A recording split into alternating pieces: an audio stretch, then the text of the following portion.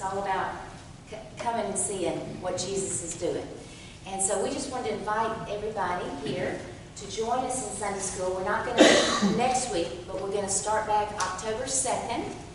And it's going to be a study on the book of Ruth while we're waiting on the Chosen Season 3 to come out. So um, we'd love for y'all to join us. We had a lot of fun. We're just having coffee and a little bit to eat and watch a video, do some Bible study, and do some discussion, and it's really fun. So come and see, a- as y'all see, come and see.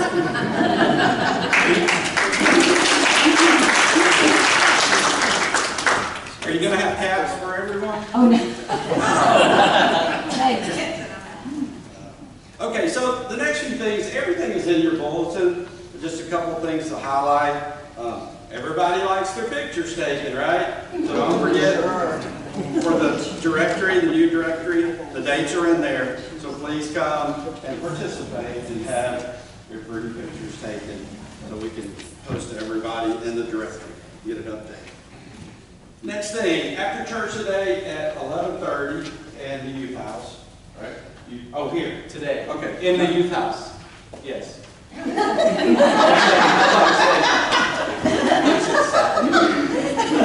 Today. Today. In the youth house, yes, here, yes, in the youth house. See what I mean? He does it all the time. Uh, In the youth house at eleven thirty, youth ministries is gonna sort of kick off. And so if you have children of whatever ages, if you participated in the youth, yeah, exactly, that's what my wife does. You know, that's why we're going, uh, because of me. Yes. Uh, um, If you participated in other youth activities with the church, like helped with, with youth before, uh, when we've had a youth program, if you want to come, please come and see how you can help. I'm sure there will be opportunities for anyone that wants to participate and help. So 11:30, we'll have some lunch, we'll talk about everything. It should end around 1 o'clock. We'd love to see you there. Um, Wednesday night, what happens on Wednesday nights, once a month? Supper, that's right. And we're gonna have supper in the fellowship hall on Wednesday night. Anybody else got anything that would just love to put out? Floyd? Oh, no, you were scratching. That's right. Somebody start to say something? Just note that the, the supper starts at six, I think it had been printed at a different time, but it does start at six. There you go. Don't be late. You'll get left out. All the food will be gone. Six o'clock. All right. Thanks, guys. This- Let's go to the Lord in prayer. Lord, we're so excited to be here today. Lord, what a blessing to be in your house with our brothers and sisters in Christ. Lord, we are here in freedom. We're not having to hide in an underground church today like many of our brothers and sisters across the world. And Lord, we want to pray for them. We want to pray for you to give them strength, protection, courage. Lord, to let them feel your mighty, mighty presence. Thank you, Lord, that we are never away from your spirit. You are with us at all times. There is never a second that you do not see us, that you do not watch over us, and that you do not love us. Lord, we love you so much. And today we enter into your praise and your worship. May you take it, Lord. May it bring a smile to your face and just use it however you choose by the power of your Holy Spirit. It's in your name we pray. Precious Lord Jesus Christ. Amen. Let's stand together and sing hymn number 98, To God Be the Glory.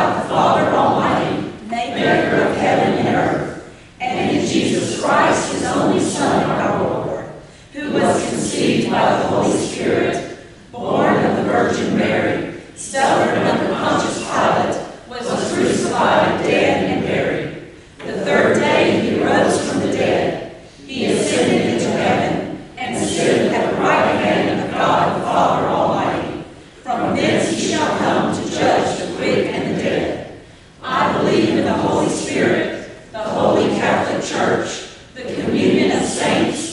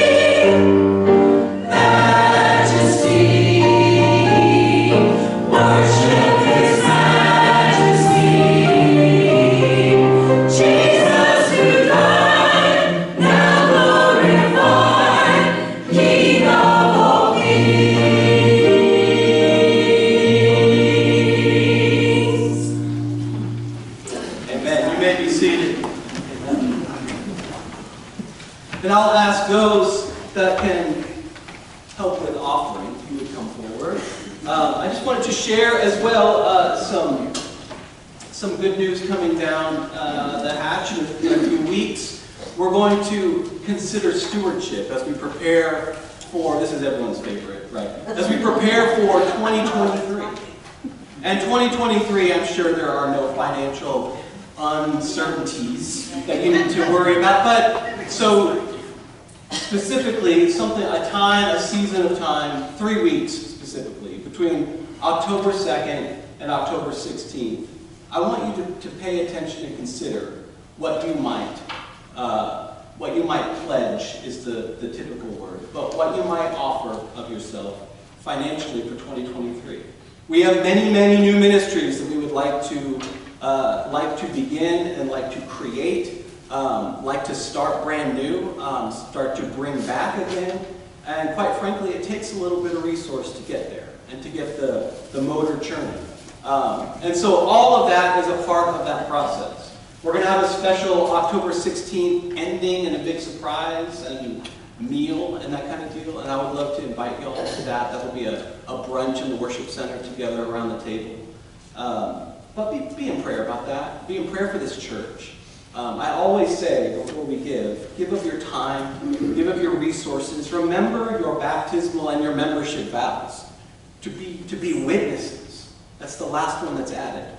To, be, to give of your prayers, your presence, your gifts, your service, and your witness. And that's, that's all I'm asking, is that we consider what we've already said. We'll consider. Will you pray with me? Holy and precious God, we give you thanks. We know that this is your church. We pray that we would be your people.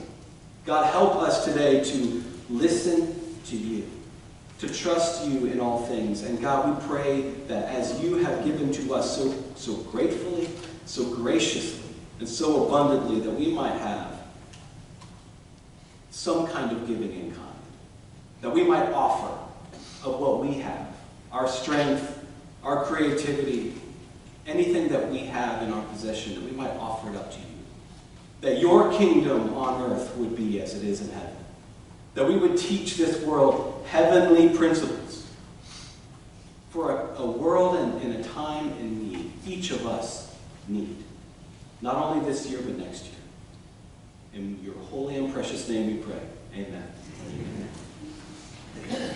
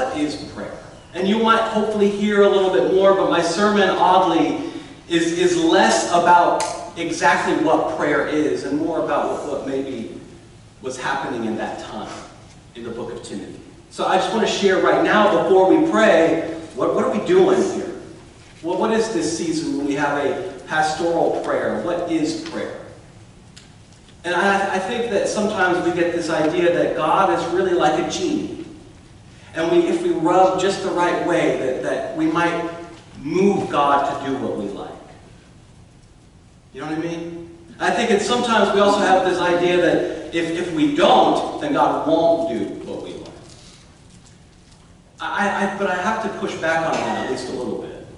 And the fact of, of prayer, I think, is really opening our own heart, of being receptive to who God is.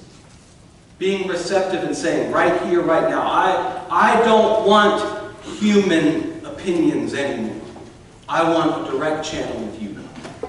I'm going to open up my heart. I'm going to soften my heart. I'm going to posture my heart to receive you. And when you pray, that is that the power of prayer is that we are open to the power of God. See, the power of prayer is that when we really pray, we are opening ourselves to the power of God and what God can do in and through you. Amen? Amen. With that in mind, let us pray and go to God, opening up our hearts.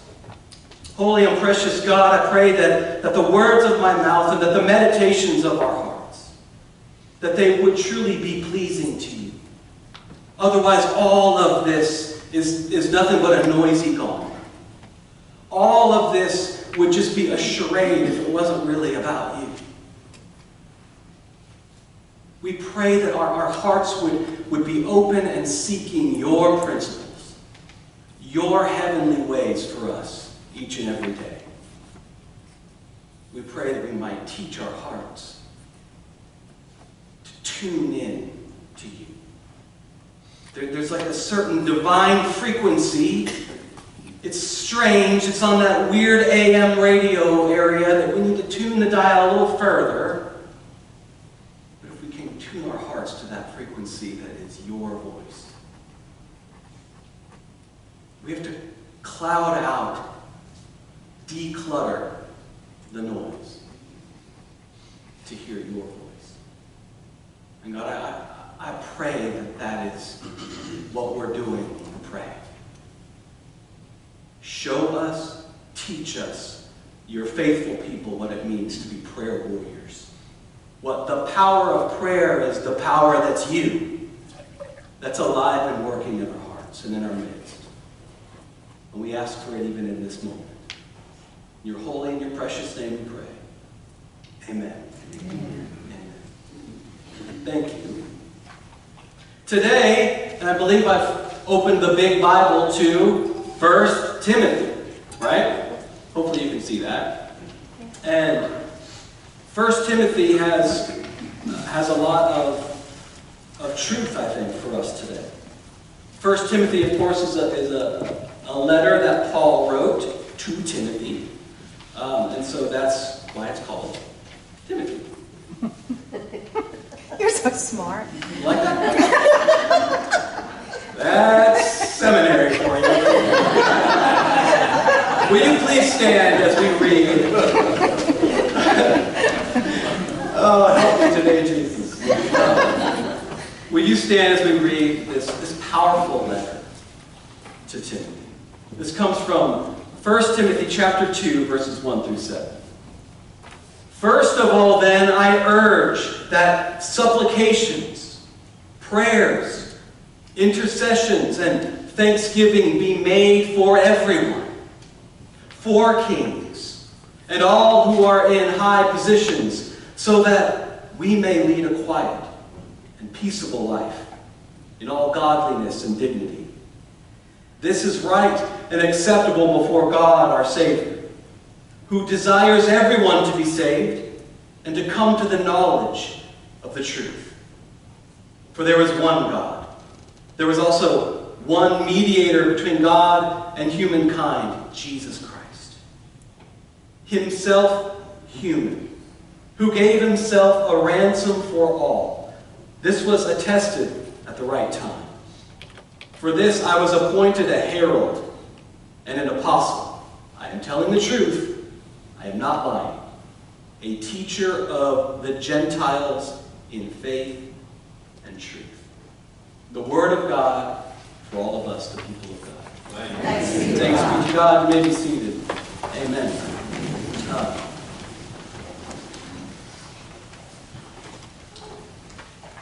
this is a good, a good letter. It has a lot of, uh, a lot for us. Imagine if you were in a world in a first century. You've come to know Jesus. You you saw Jesus working in your life as an apostle, and then sort of previous generations that, that began after you started to see this way, the way, at work.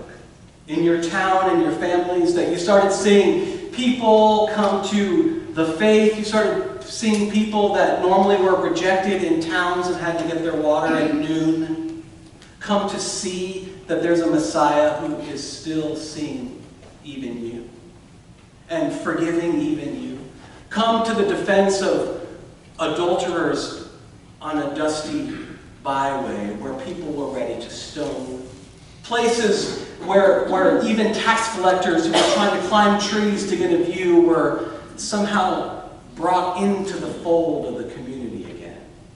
And this shaped people in such a way that, that even these tax collectors decided to give back four times the amount that was taken because they wanted to do right not only by God, but by the people they had wronged. And it was in the name of Jesus that these things were happening in places, and hearts were being changed and transformed, but there was a lot of friction. There was a lot of warring ideologies, and that next generation, in fact, in the year 70, the temple was destroyed. And there was this key moment in Jerusalem where we, we go to church, essentially. We all travel to Jerusalem. Even Jesus faithfully went to Jerusalem. It was a part of his final ministry was to go to, to Jerusalem. It's a place where they would call central temple worship. It's that place that you would ultimately go to to trust that the Lord of hosts, the, the God of gods, is, is here, is residing among us. But when the temple gets destroyed, your nation state gets destroyed. And when the, the nation state gets destroyed, it means that, that you don't have a center. You don't have that one barometer or that one uh, anchor that's holding you. You don't have any measurement of where your center is. You've lost. You've lost something dear to you. Imagine being in a, tumultuous time around 70 and beyond where you're, you're, you're a new fact, you're a new sect, you're a new uh, way, trying to be a quote unquote church. There's no word church yet. But you're a ragtag group of revolutionaries that claim Jesus. And, and you, you're trying to follow in this way, but everything around you, the Roman Empire, this new imperial government that claims that their leaders are gods, and they call their leader the Son of God, is right near you all the time. And is, is next to you and is, is culturally, you pray not for the kings, you pray to the kings. And imagine if you were also living in a time and a place where there was this sect of Christianity, a, a stream, if you will, that was going through the faithful, called Gnosticism. And what it really just translates as having knowledge. The elite among you. Those that were more evolved academically. They spent more time. God gave them a higher knowledge than others. And imagine being around a time or a place where you heard uh, word that there was sort of a, a group of people that just knew more than you. And they knew right from wrong better than you. And they moralized loudly and confidently. And, and, that, and that you were to take notes of their wisdom. You certainly weren't to resist it or to, to question it. You were to adopt it. And, and if anything, maybe perhaps you could sit at their feet the way that the disciples sat at the feet of Jesus. And just bask in the paragon and the glory that is emanating from their mouths.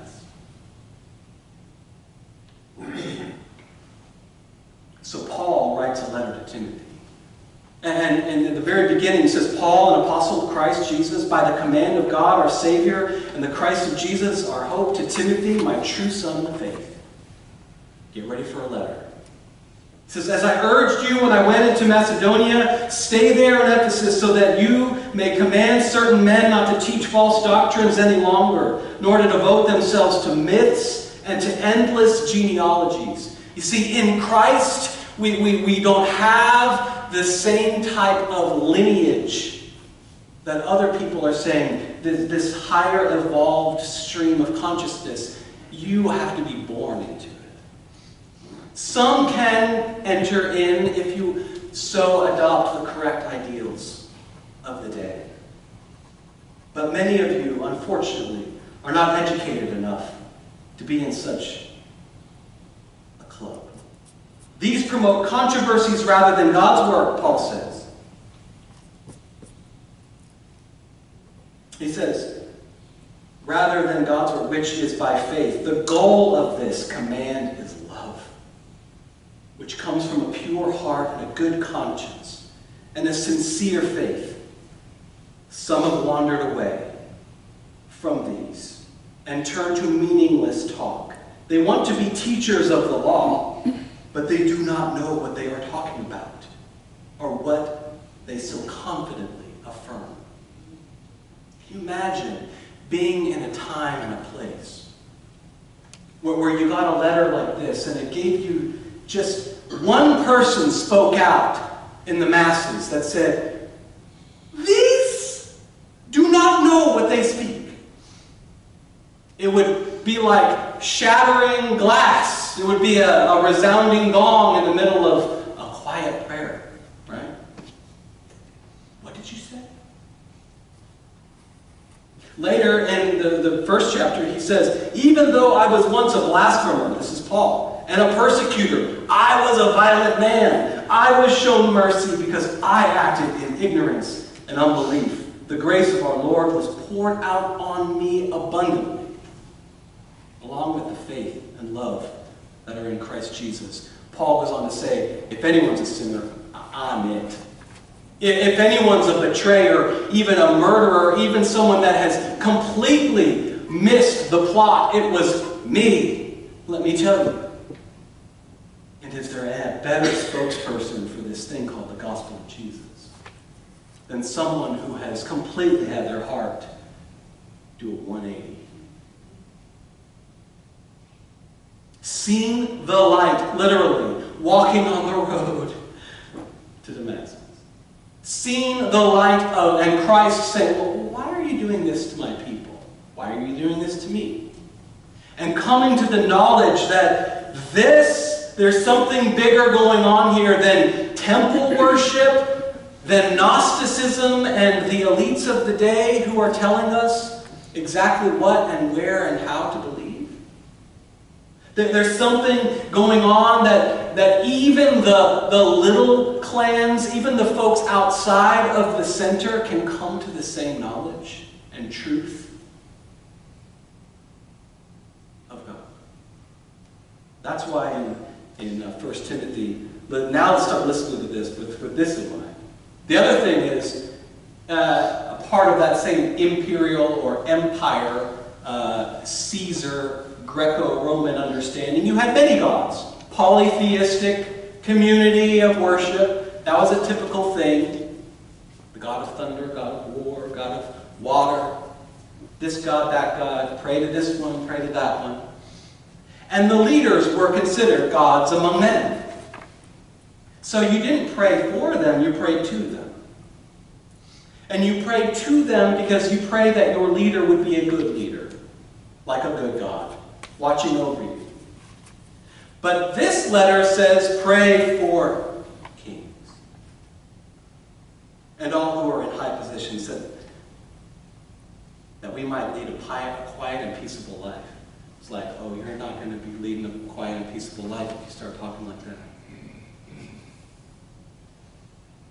And he says, First of all, I urge you that supplications, prayers, intercessions, and thanksgivings be made for everyone. That's how we started this whole verse. Well, those would have been made in the central tem temple worship. Those were ritualistic practices that were done in a particular way within the temple. There is no more temple. So he says, made for everyone. Even the people that aren't elite, even the ones outside of Jerusalem, even the people that couldn't trek here, even the people that, that uh, but isn't that dangerous? What, what if they start going and thinking that God is that one God for them, even there, and they don't have to come here, and they don't, what if they don't have to listen to us anymore? Uh-oh. Can't have that. So, Paul says this is right and acceptable before God our Savior.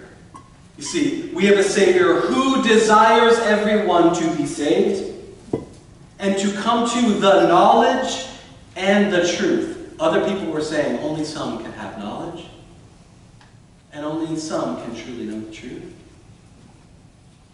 But Paul knows.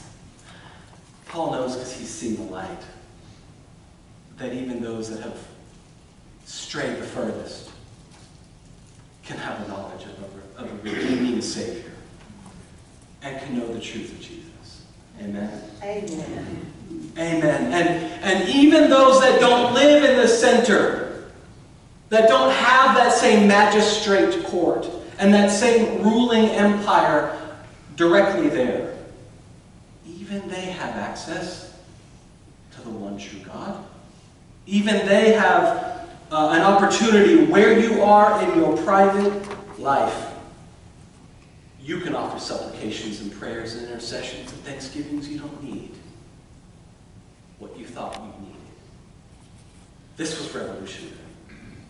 This was, this was, I mean, and if you can imagine the, what that must have felt like for the people, this was freeing, not to the kings, but we're going to pray for our leaders. They're not gods, there's one God. And the, the other thing about Gnosticism is they believe that Jesus, not only was he not really resurrected, they, but they believe that he was not fully human. He was all God. He wasn't human. He can't be divine, and, and make, which makes sense if you have, have knowledge and you're an elite type of person. Certainly the things you believe, you possibly couldn't possess. It's not human. It's fully divine.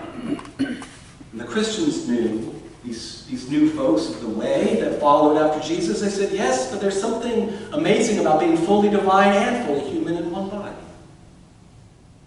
And we know that we were made in the image of God. And Jesus told us that we have that image of God in us. And that we have it already, and we don't need this. We don't have to adopt it the same way. What a beautiful, revolutionary, liberating idea. And says, For there is one God. There was also one mediator between God and humankind, Christ Jesus, himself human. Fighting words, right? That's a sort of anti-Gnostic language. Not to the king, or not, but for the kings. That's anti-polytheistic language. all in one tiny little paragraph. It's just a nice letter. You thought you were just reading Bible. That you just, you know, you would just open up the Bible and hear some, y'all just be nice to people. God love you. See you later. See you next week. You know, pay your taxes and pay, put some money in the offering. You know, see, you know, like no. This is a revolutionary ragtag group of people that are trying to follow Jesus. And, and anytime there's a, an encroaching or an already present uh, authoritarian empire movement around you, that's, that's where Jesus people thrive. Because they have something different that they're selling, and it's free. They, they, they're not peddling it. They don't need to deceive their followers to adopt it. They don't need to lie to them. There's no deception. It's just, see, we believe in this God that accepted even Paul and even me. We, we believe in this Jesus that, that can take any stain, any sin, and can literally go under the water and come back up reborn. He says, like being reborn. A new life in the Spirit. And, and we, we believe that, and we believe that in heaven uh, there, there's no male or female, Jew, Greek, Gentile, Samaritan, all these different ideologies and identity politicking. It's not in heaven. And so we believe that, and so we don't do it here. And we believe that in just like uh, our fellow author of to the Gentiles and to in Galatians and to other folks that they say there's, there's no Jew or Samaritan or Greek or even slave or free, that you're adopted into this kingdom of God because you have breath in your lungs, and that even slaves have that same image of God. And that Christ can look them in the eye and lift them up and call them brother and sister? If that's true, then we live like that now too. And we, that's why we invite people into our homes and we, we cook them meals. And Jesus washed our feet when we don't deserve it. So we started doing that for people too. People's hearts are changing. And they're coming to see that they don't have to go to the same places and, and get privileges from the correct people to be right with God. And so we're going to keep doing this because we believe it's right. We believe in the power of prayer. Amen. Amen. We believe, see, we, we started praying because Paul and others taught us to pray. And we're going to pray right here, right now, wherever we are. We don't need to go there to pray anymore. We trust that Christ has removed the veil. That Christ has removed the barriers, the divisions between heaven and earth. And then no man, no woman, no human being can create such a division. And any human being that says that you have to go through this is telling you falsity. And we're going to stick by that because we believe Jesus. And we're going to follow it. We're going to get on our knees wherever we are. And we're going to pray. That's who we are. And, and there was more friction that came. And follow along, guys. Because the story only begins. And the, the journey continues how Jesus continually invites to the table those that do not deserve to be sitting there.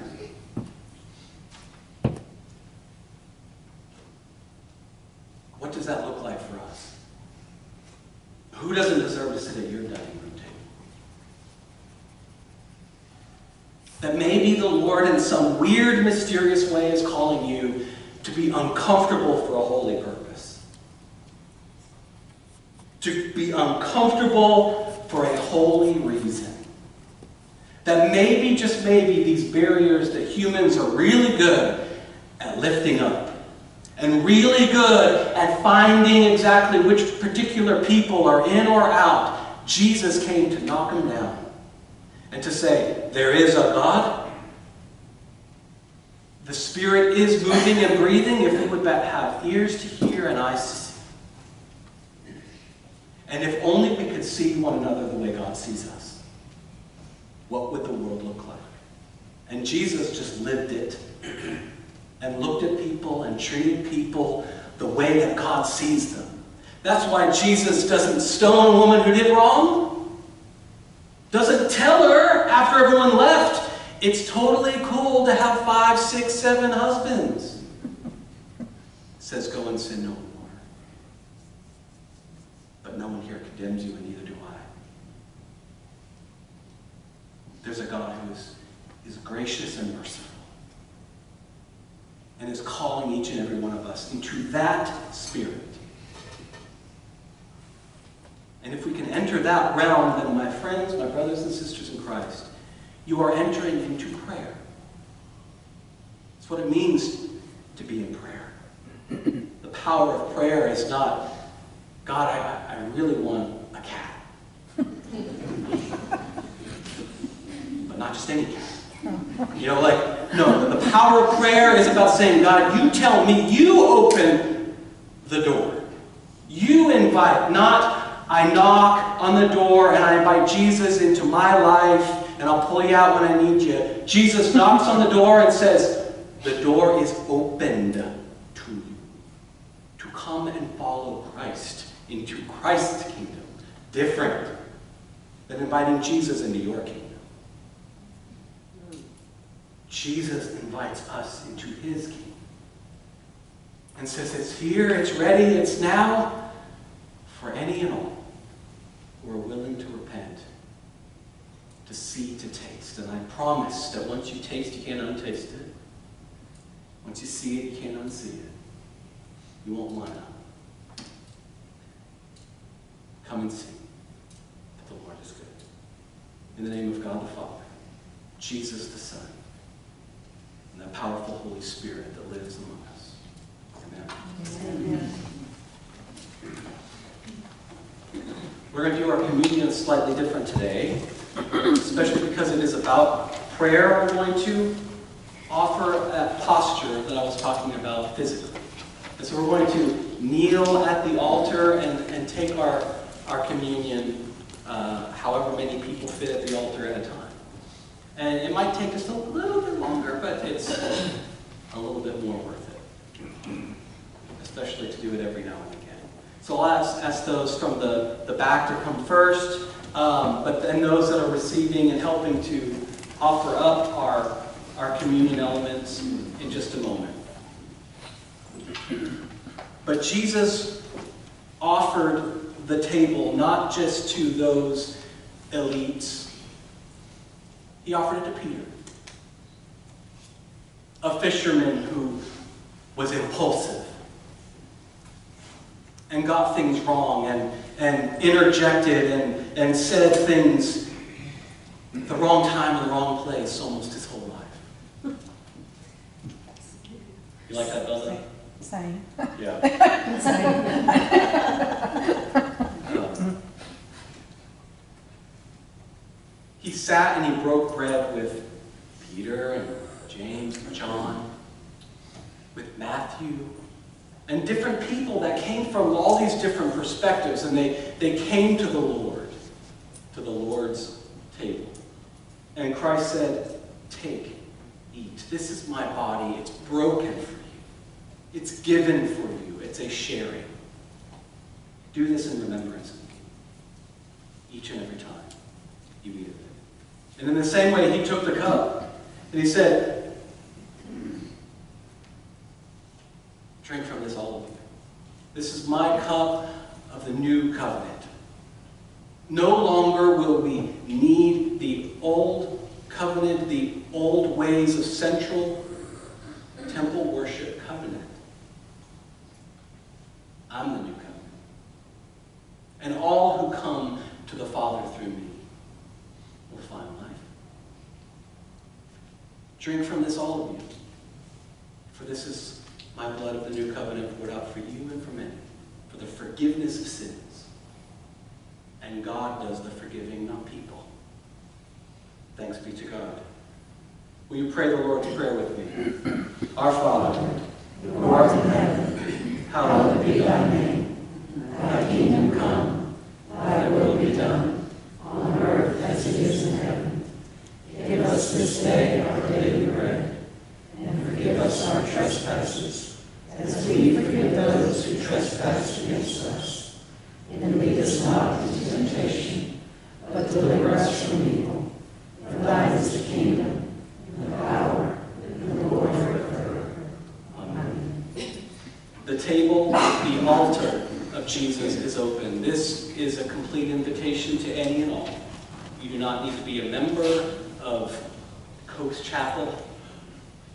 You don't need any barrier, uh, any human barrier. This is Jesus inviting you. So come one, come all, come to the altar, uh, and we'll start at the back and slowly move. You're invited. And I'll ask those helping to assist. Please come.